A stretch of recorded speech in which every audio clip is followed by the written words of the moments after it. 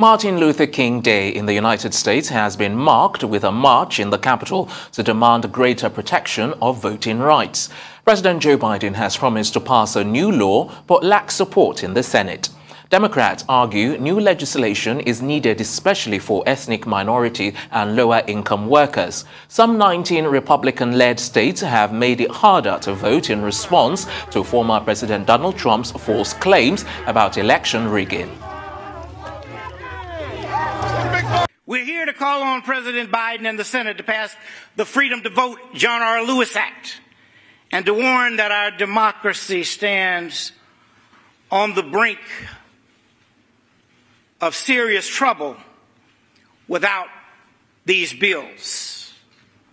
Last week, the president said he's tired of being quiet about voting rights. Well, we're tired of being. Since January 6, 2021, when the insurrectionists attacked our Capitol, 19 legislatures have passed 34 laws clawing back voting rights for their citizens.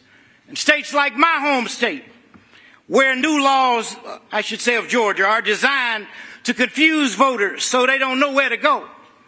They kick people off the voter rolls so they show up to vote and find out they're not registered. They close polling stations and limit voting hours so working parents and folks without access to transportation can't get there in time. These laws are being passed with knife like precision to cut black and brown voters out of the process.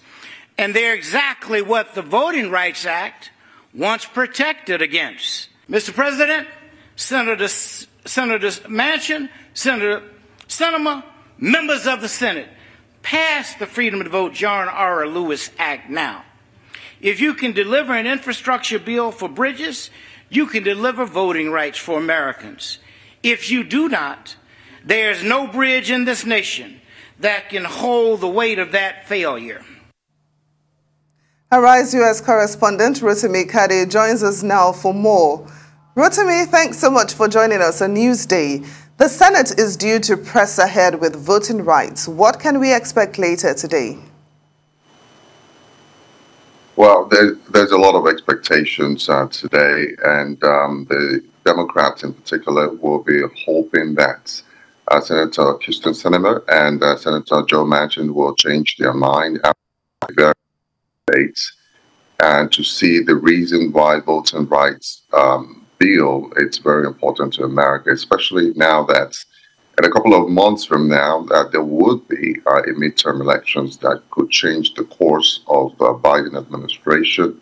Uh, a very typical uh, midterm elections always doesn't go with um, the the White House um, in recent memories. So um, Biden administration is fighting tooth and nail uh, to ensure that um, that tide is changed, but is running really low on gas. The reason being that uh, the president was not really on board with the change of filibuster from the beginning uh, up until now. And many analysts believe that that is too little, too late for the president to start fighting for the voting rights. And when it should have been the number one priority when it came to office uh, to ensure that um, voting rights stays, especially on the back of um, um, the on the back of um, the uh, Trump's um, uh, misinformation about the 2020 elections. Yeah, that's definitely right. But um, we heard the very strong comments uh, coming from Martin Luther King Jr. Will the Democratic voters take their revenge at the polls if they can't get anything through at the Senate? Uh, well, I, I, don't think so. I think um, the right now they, they are walking on a very tight rope uh, because uh, Kyrsten Sinema's and uh, Joe Manchin argument sometimes, you, if you look at it, may have a very genuine argument. Uh, the reason being that if you change the filibuster rule right now, and if the Republicans come into office, perhaps during these midterm elections, uh, they could take advantage of that. So Democrats won't have any fighting chance to push back any uh, Republican agenda. So uh, they want the rules to remain um, at the detriment of the voting rights. Um, so it's like a double-edged sword. The election is coming. uh, uh, states that have passed uh, voter, restrict, uh, voter restrictions, uh, which could hinder um, the Democratic base. And um, at the same time, if you don't change the filibuster, some of these rules would cannot be overturned by the federal law. So um, I really don't know how that will be, but uh, from some of these uh, things we're hearing, that um, most likely uh, after the long debate today, uh, Senator Chuck Schumer, the Senate majority, uh, may just call for a vote, which is a simple majority, without necessarily changing uh, the filibuster rule. And uh, Rotimi, given all that is happening right now, what could be next? Well, what is next? It would be a disaster in waiting uh, for the uh, Biden administration. Uh, when you look at the polling um, of um, the president's achievements so far in the last one year, it hasn't been very impressive. A lot of Americans believe that he could have done more.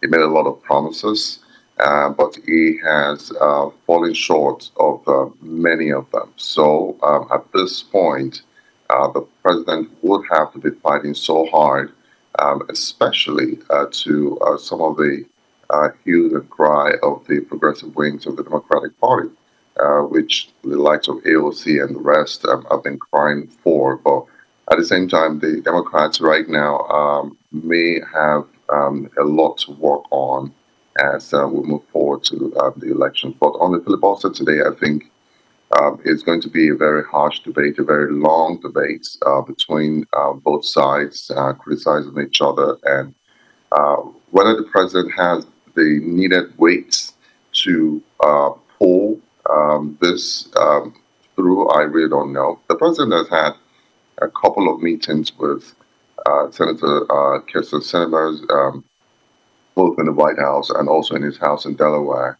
to see how he can change their mind, but if he can't do that, I don't think today's debate would uh, change their minds. Well, Rotimi, this call for greater protection of voting rights, you know, doesn't it lead credence, you know, to what the former President Donald Trump alleged, you know, that the election was stolen from him? Yes, of course, yes. It's lent credence to that. Uh, but, of course, you know that the former president's claims um, has absolutely uh, been uh, quashed um, in, um, in in the court of law and even at the Supreme Court that it has no legal standing. All of the um, allegations absolutely, absolutely uh, is null and void. But the misinformation and the disinformation is still very much in the air, and a lot of people, both liberals and Republicans, are still believing that there could be some sort of manipulation that happened in 2020 elections. So the voting rights um, legislation that's been passed, uh, a lot of the people who believe uh, the Trump narratives are now seeing it as a way of, you know, consolidating on some of the things that Trump talked about. So that it's a really, really, and, and the White House is not actually giving the right message or messages um, at the right time because the, the narrative is still very much on the air and there's no counter narratives to that as much as we know. It seems like Biden always has his hands very full, especially in the United States. Thank you so much for that update, uh, Rotimi Kade.